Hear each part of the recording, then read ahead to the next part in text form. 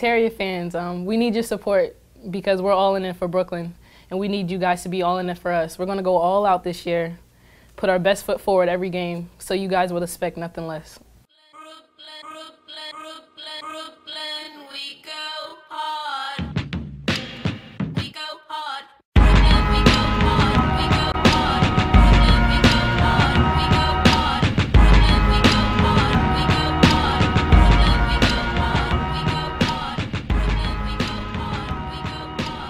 All in or all out.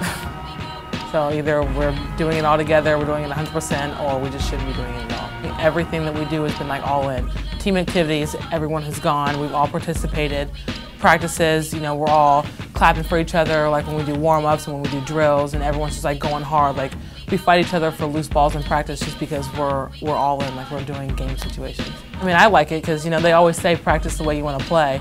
So I mean, if you're going hard in practice against your own teammates, then it's going to be that much easier for you to take down the next team that you play. Everything you do, whether it be like if you have to do 20 push-ups in the weight room, it's either you do all of them or you're all out. You just leave the weight room. It's either you're going to do all 20, like the little things. Because when you feel like your team's behind you, you're going to have a whole new attitude. You're going to feel like you can accomplish way more.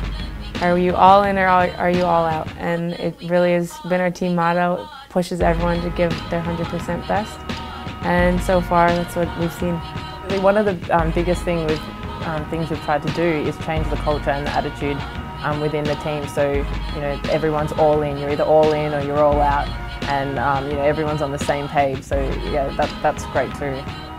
We need to work together. I think that's one of the biggest things we needed to work on was to, to really be be a team, like both on and off the court, and work work together in everything that we do.